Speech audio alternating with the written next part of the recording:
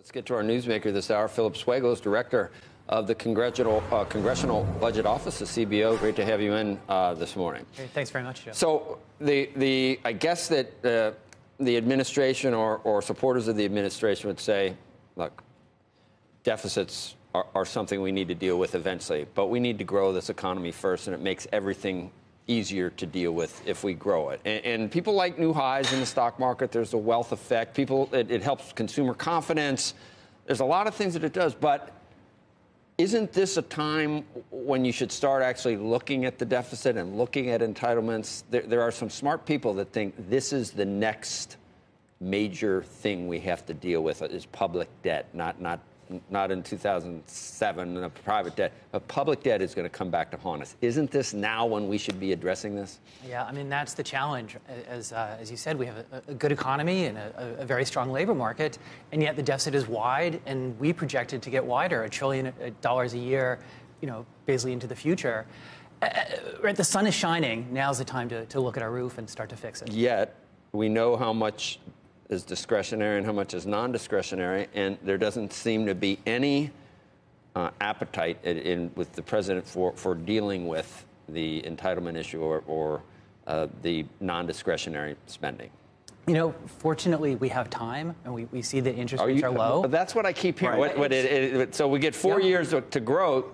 It, if he's reelected, he's suddenly going to tack and, and, and then look at Social Security, look at Medicare, because he's promising that he won't. You know, it, it's such a big challenge that we need we need all of society together, right? The entire political system and, and everyone together in you know willing to take on uh, mandatory spending, the entitlements, and that it can't be done overnight. We have to give people time to adjust. You know, whether it's changes to Social Security, Medicare, or other programs. And so it's something that has to be done over time. Before, fortunately, with interest rates low, that suggests that we do have time to but do Phil, this. we're not talking about tackling it anytime soon. And, and the Republican Party that we've always heard this from and always expected it would be there, if it's not being led by that, what, how, do, how does it ever come about? How do we do this early enough to make sure that the changes won't be even more draconian. Yeah, no, that that is the challenge exactly. That if we wait longer, then the the, the changes that are needed are, are more difficult and in some sense less fair, right? The people today are excused from their share of the burden, and there's more of the burden on people in the future. Eh, eh, you know, it, it's a social problem, it's a political right. problem, it's And why are you so convinced that, that rates are going to stay where they are and that therefore we have time? Because my great worry, you lived through the financial crisis uh, of 2008, right in the midst of it, is that confidence doesn't evaporate over years or months. It happens in, you know, days and hours and minutes. And if it actually were to really happen, mm-hmm. you would have a real problem. Yeah. So we have a benign outlook, right? Growth goes goes down a little bit, but but stays pretty good.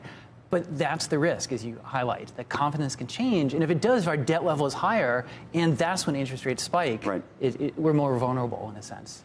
Phil, I saw something in the in the notes that just caught my eye. I mentioned this to, to Andrew earlier, and that was some of the corporate receipts were lower than projected by the CBO after the cut in, in, corporate taxation. And you said, well, if we had known what we knew about corporate profits over the past year, we wouldn't have thought that receipts would be as high. Well, the, the cut in corporate taxes was supposed to boost profits. So you're saying, well, profits are lower, so we didn't get as much in receipts. Well, that was the whole point of the corporate tax cut in the first place. Why, why didn't you get, why didn't you hit the nut? Why didn't corporations after tax make more money based on the corporate tax cut. Uh, yeah, so, so they did. So we saw profits go up after the tax cut, and the economy was strengthened, especially in the first half, half of the year before the increases in tariffs set in around the middle of 2018. So this is a tariff story. Yeah, so, so a little bit what's going on in 2018, the middle of it is, is a tariff story. The, the change in our um, estimate related to changes in data. Essentially, corporate profits were lower before the tax cut than we understood. But it goes out 10 years, uh, and it's going to be significantly lower. Uh, Mm-hmm. We cut corporate taxes, and people go, "Oh my God!" But now corporate corporations are paying less in taxes. It's like we cut corporate taxes. yes, that's why they, they are cut, paying less. That's tax way, cut. Yeah, that's that's what that's it right. was about. So I understand that. But then again, you did make a certain assumption, and I hear rumblings that the White House is maybe responding to some of the optics by saying that there might be a minimum tax. I mean, even Jeff Bezos' company On might end up. Yeah, yeah, even Jeff Bezos' company might have to pay a dollar or two in, in taxes on the, the, the hundred gazillion they make. Yeah. Is that true? Is that being considered a, a minimum tax, like a, an alternative minimum tax for, for corporations? I mean, that is, we, we, we've seen reports of that. Um, you know, at CBO, of course, we'll analyze whatever Congress. Uh, this is coming from. Congress, you mean?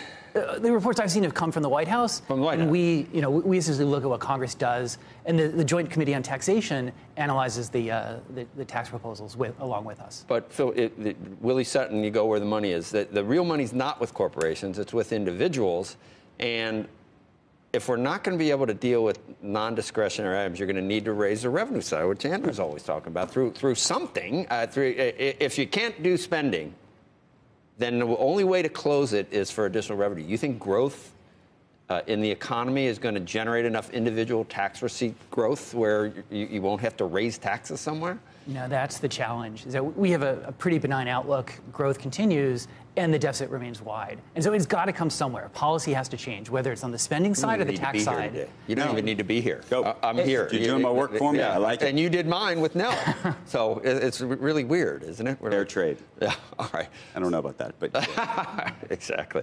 Um, well, we talked about it off camera. Uh, So, in the second Trump, if there were a second Trump administration, I don't know if you saw the debate, but maybe there will be one. Uh, but if there were a second uh, Trump administration, w- would there be any uh, increase in revenue somehow? Any, any, any somewhere? Uh, carried interest? I don't know. Is there anything the president would consider looking at there? Um, well, one thing to keep in mind is that after 2025, all the personal tax rates go up. Right? That was in the 2017 tax law. Is that those those rates are are So- only so he would let that happen? So we, you know, obviously we'll, we'll wait till Congress uh, acts, but there's a, a, tax increase is, is programmed into current law. But I would think that one of the proposals that um, that that maybe Trump would make would in, in Congress would be to extend those or to make them permanent. Wouldn't that be part of the agenda? You know, we have to see. They could what- make a choice not to do that. The, the current law is that tax rates on the individual side you go up. I can't imagine. Can you where where they wouldn't try Where to make they that won't? where they'd let it where where he would preside over the the individual rate going up? I can't imagine. Right, and then there's business taxes on the, Right. the R&E credit, um, uh, expensing, other things that go away. So tax policy will still be on the agenda over the next couple. Are we going to be okay or not, Phil, in terms of the deficit? You, you're not making me feel that much better about it right now. You know, we, we have time. Like I said, it's not. It doesn't. It's not something that has to happen this year. And we saw earlier this year as the coronavirus got worse and the concerns got worse, our interest rates went down, Treasury yields went down. So the rest of the world still sees us as the, the place to be. It's just over time. All right. But over time, when nobody on either side is ever suggesting we ever address this. We, we are here to support the Congress when and if they uh, they turn to fiscal adjustment. All right. Phillip Swagel, CBO Director. Thank you. Thank Good- you. Good, to- good to have you on the set today.